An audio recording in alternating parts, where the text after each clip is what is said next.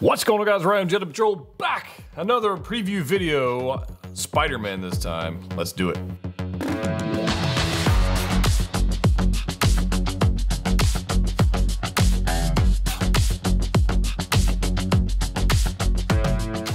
That's right guys, we are back another video. I just finished the preview video for the Wolverine 1973 version from Hot Toys. So go check out that video right there if you want to do that if you're in the Marvel thing, which I think is a pretty cool figure. Uh, and uh, today we're going to look at the Andrew Garfield Spider-Man, and we're going to look at the Lizard Diorama base, and and we're going to look at a third-party Sandman figure, and a tease on the Tobey Maguire Spider-Man figure from Hot Toys. There's a lot to talk about here in Spider-Land, so let's get into it. Right now, let's roll. I've got photos here from the blogger photos from Hot Toys. I've also got photos from my friends over at Pop Collectibles who went to Secret Base and Echo Base to get some photos of the actual figures. If you're one of those people who like to get things fast and not wait forever on figures, you want to get first batch releases or second batch releases, uh, Pop Collectibles link in the description along with a discount code. You've got the amazing Spider-Man 2 Andrew Garfield Spider-Man sitting right here for whatever reason, they branded it as Amazing Spider-Man 2 rather than Spider-Man No Way Home, which leads me to believe the Tobey Maguire Spider-Man might be Spider-Man 3. I, I, he's way older, so I, I don't I don't know how that's going to play out. And honestly, I don't care because I'm not displaying the box, I'm displaying the figure. So there we go. But here we go. Andrew Garfield head sculpt with a, a, it's a good looking it's a good looking expression i think i think. Uh, it's a serious pondering like broody kind of look. I kind of dig it. Um, some people said the nose is quite large. I mean it's certainly a hot spot there for lighting purposes and i think that might be what people are seeing. I don't you know i don't know. Uh, but certainly a brighter spot's going to come forward a darker spots go backwards and so it looks larger. Uh, i don't know don't really care. the uh, the suit definitely looks like an improvement on the previous version we got. Although this particular figure comes with a lot less accessories than the previous version, like the jet, uh, uh, the backpack, and the uh, the hoodie, and the whole. Anyways, whatever. Um, the question is, if you have the previous version of this figure, should you get the new one? If you don't have one at all, then yes, you should just get the new one. I think, um, but I quite uh, I quite like this thing. I want to kind of zoom in if I can just a second. Uh, this head sculpt looks quite good. I think the hair, thankfully, sculpted hair, that's the thing. The hair looks like it's painted nice. The suit looks like it's painted nice. They're giving us this interesting collar, which we haven't seen from them uh, before. Uh, that I can remember, uh, but they give this interesting collar situation going on here uh, for the neck, which I I do like. I do like that, and I like this. Not they didn't give us like the fully um, uh, cloth, I guess, if you will, neck, like we've seen with other Spider-Man, and people have come up with like different ways to have like a skin neck, and that, that's that's cool. I kind of dig that. Uh, we saw a different uh, take on uh, how to do this with the Miles Morales figure from Into the Spider Verse, where they had like rollover skin silicone deal. That worked out pretty good. That was all right. Uh, but this one looks good. He's uh, got to have, you have to have the hand where you're holding the mask because they include that with every sticking figure. Um, but I think this is going to be a highly, highly posable figure. Just based on the suit materials, it looks to me, and we'll look, we'll look more on the other photos, but it looks to me very similar to like the, uh, the Scarlet Spidey suit material on the red section. The blue section is that pleathery synthetic material. Um, and it looks like the raised webbing. I think this is really going to look nice on the shelf. But we'll see. We'll see in, in the year 2095 when it's actually released. Um, I don't know. It's one of those things. Hot Toys releasing things way in the future. Um, but look at the posability of this guy. That's a good pose, by the way. And we've seen this pose a number of times with other Spider-Man people, which makes sense. Nice pose. I dig it. We're gonna get some webs. That's fine. No big deal there. Um, but I, I like uh, I like this thing. I like it very much. So here's a photo of it actually at Secret Base with their spotlighting and different things I've got going on at the, uh, at the display. And you can see like the lizard diorama base down here, which I thought we were gonna get a full lizard figure. I don't know why I thought that. There was a third party person that uh, did a Doc Connors. They did like two versions. I talked about it months ago. Um, this is just as good, I think, uh, as far as the diorama base, we'll get into that, but having it into the collection without having to have, I, I don't know. What are your thoughts? Are you going to get that out of the third party figure or are you going to just get diorama base? If you already have the Spider Man from uh, Amazing Spider Man 2, then maybe you just need the diorama base. That's okay. And we're going to get an Electro and we're going to get the Doc Ock and that kind of stuff. Uh, but the suit material looks good. I'm, going to kind of zoom in on some of this if I can.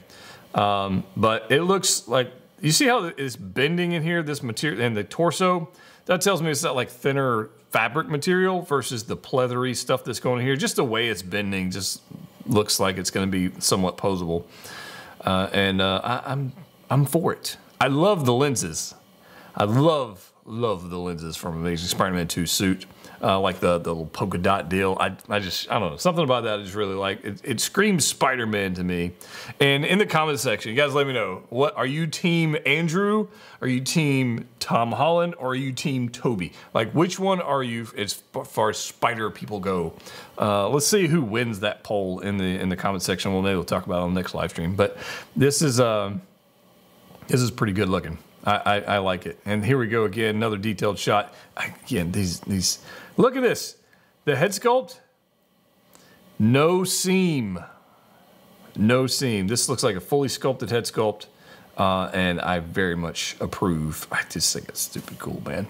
All right, so moving on, we have this diorama base uh, that they're giving us from the Lizard, and it looks so much better as far as the, the, the paint applications, everything, the sculpt, than the third-party figure. But that makes sense. I mean, it's, it's a prototype deal. It's kind of one of those things. And they're not worried about joints and moving and all that kind of, and proportions. They sculpted it how they wanted to, how I'm coming out of the ground.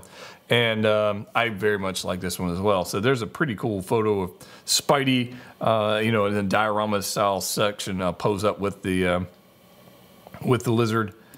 And uh, there's some more poses of him. Oh yeah, uh, I don't do want to. I guess we'll talk about this first. I want to get into the lizard base because there's a lot, but there's a lot going on into this diorama base, uh, diorama scene. We got Doc Ock, we got uh, Green Goblin, we've got Electro, we got Lizard, but we also have we also have uh, this guy down here. Whoops, this guy this guy down here, which is our Tobey Maguire Spider-Man, which we know we're gonna get. It's gonna happen. There's no way they release two of the three and not the other one.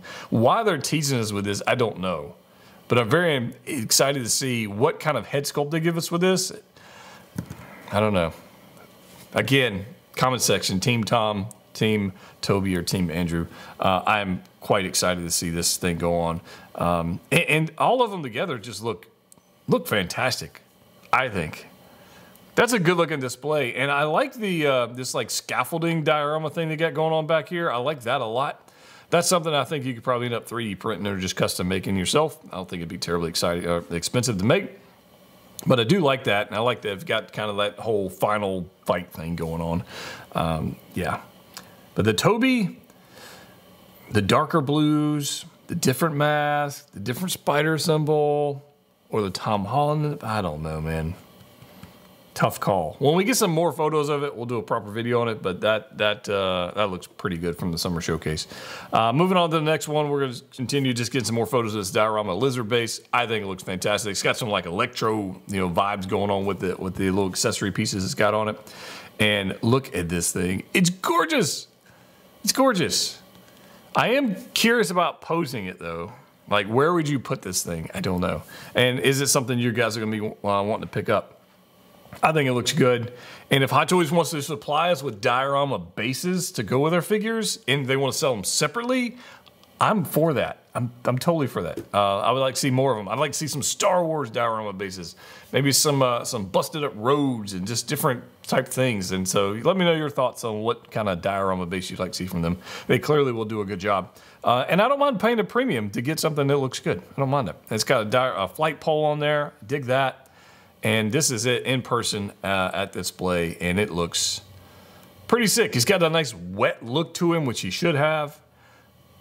Yeah, I've, I have no complaints. I, I dig this very, very much. Um, and it will look good in my display eventually. But now we've got another guy who's third party. This is gonna be a custom 1-6 scale by SL Custom. And yes, I do believe it will be available at Pop Collectibles. Put a link in the description below. Uh, the Sand Fighter.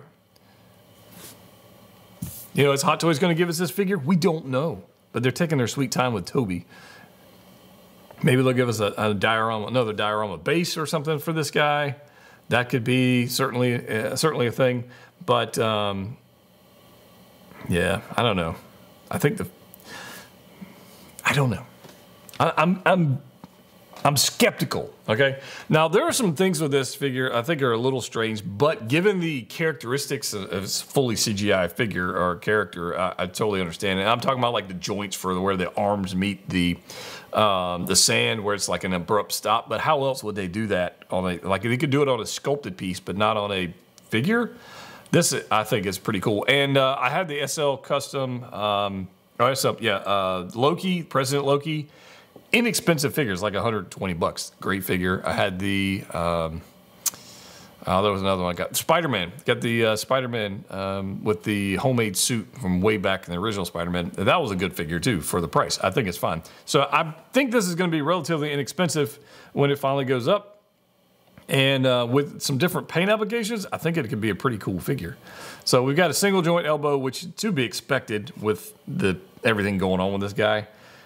I think it's pretty cool. And I don't know that we're going to get anything else. Uh, the only thing I would think that would make it a little better if a different head sculpt, he's like screaming, like that might be a thing. Um, but I kind of dig it. It's going to be inexpensive. You've got some clobbering hands. You've got some bag full of money. You got. A, it's going to be an inexpensive, inexpensive figure, and I think it's going to look pretty stinking cool on the display with all the other spider people. So what I want to hear from you guys in the comment section below. Again, which team are you on as far as Spidey people goes? And what do you think of the lizard base? What do you think of this sand guy? And uh, what are your thoughts on the Andrew Garfield Spider-Man? If you want to pre-order those, you can check them out, link in the description below. If you haven't already subscribed, we've got more videos just like this coming up, as well as some posing videos and some some special little treat videos for the Patreon supporters out there. Don't, don't forget, we are giving away a life-size Hunter Bad Batch helmet right now, one of the Patrons at the end of the month. So if you want to check us out, Jedha Patrol, uh, sorry, patreon.com slash Jedha Patrol, do that. And as always, collect what you like.